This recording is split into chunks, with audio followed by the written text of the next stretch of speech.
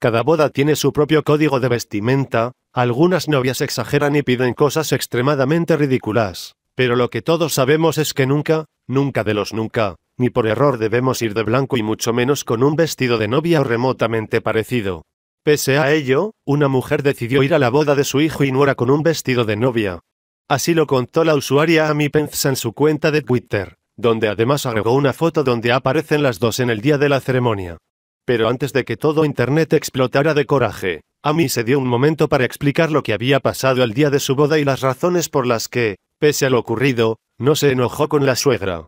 Según relata la mujer, su suegra creció en una situación de pobreza extrema, por lo que ahora es una cazadora de gangas. Pero eso no la hace dura, cruel o egoísta. De hecho, Penza la describe como una mujer increíblemente generosa que regularmente la apoya a ella y a sus hijos. Ella aparece regularmente en mi casa con bolsas de ropa nueva para los niños, relata que la mujer encontró el vestido de novia con un descuento que no pudo desaprovechar y decidió ponérselo, aunque ahora se siente realmente mal de haberlo hecho.